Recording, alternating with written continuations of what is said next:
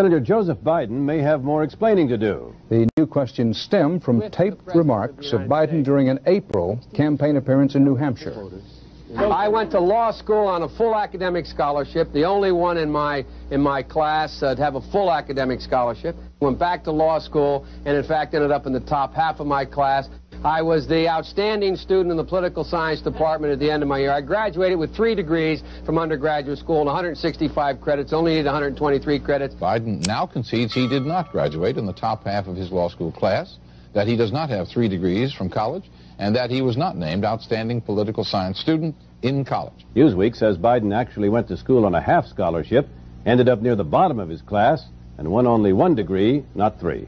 Joe Biden ranked 76th in a class of 85 at the University of Syracuse Law School. I mean, this guy comes off this whole thing as a flyweight. Now Biden says Newsweek is right.